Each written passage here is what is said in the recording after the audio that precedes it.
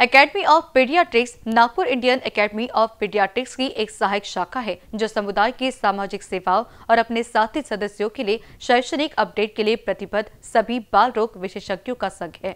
निरंतर विकसित हो रहे चिकित्सा विज्ञान के साथ इस वर्ष डॉक्टर कुश झुंझुनवाला की अध्यक्षता और डॉक्टर यश बनाट के सचितत्व में कौशल्य को बढ़ाने और एओपी नागपुर की गौरवशाली विरासत को जारी रखने के लिए प्रतिबद्ध बीसवा वार्षिक सम्मेलन नैपकॉन 2024 10 तारीख को आयोजित होने जा रहा है।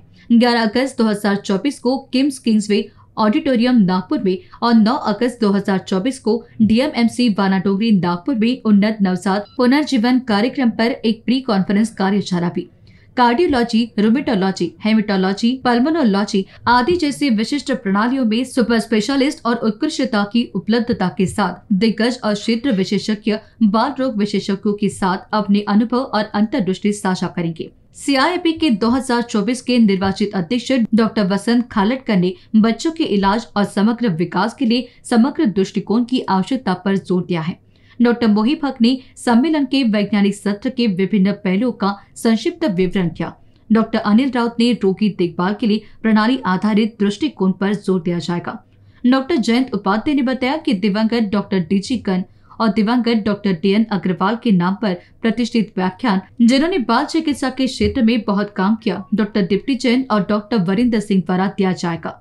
नवजात पुनर्जीवन कार्यशाला में डॉक्टर अंजू मेहरोत्रा कड़ू और डॉक्टर आकाश बंग के मार्गदर्शन में टीम द्वारा एक जीवन रक्षण कौशल्य सिखाया जाएगा। संरक्षक doctor Uday Bodhankar, doctor M S Rawat ने आगामी कार्यक्रम के लिए अपनी हार्दिक शुभकामनाएँ और आशीर्वाद दिया। Only health related issues means overall बच्चों का डेवलपमेंट कैसे होना है? ऑर्फनेजेस में जाके हो कि उनका हेल्थ रिलेटेड हो मेंटल स्टेबिलिटी के लिए एओपी काम करती हैं। बट साथ में जितने भी मेंबर्स हैं उनके लिए recent advances in medical sciences ये देखने के लिए आ, कि अप टू डेट नॉलेजेस रहे। उसके लिए हर साल एकेडमी ऑफ़ पीडियाट्रिक्स एक कॉन्फ्रेंस ऑर्गेनाइज करती है जिसका नाम है नैपकॉन आप जैसे जानते होंगे कि आजकल स्पेशलिस्ट हर चीज़ में आ गए हैं। अगर ब्लड है तो ब्लड के स्पेशलिस्ट जैसे मैडम उसमें एक्सपर्ट है हीमोफीलिया ब्लड के हिमाटोलॉजिस्ट ऑन्कोलॉजिस्ट अगर अपन को वात रोग है तो उसके लिए र्यूमेटोलॉजी है। हमें छाती का श्वास लेने की तकलीफ़ है तो उसके लिए पल्मोनोलॉजी के लिए पल्मोनोलॉजिस्ट है। डेवलपमेंटल के लिए डेवलपमेंटल इश्यूज़ के लिए न्यूरोलॉजिस्ट है। सो इन सबको इक्वली हम कैसे डील करेंगे? एंड uh, हर चीज़ की स्पेशलिस्ट हमें कैसे रिसेंट एडवांसेस बताए, उसके ऊपर इस बार की कॉन्फ्रेंस फोकस्ड है।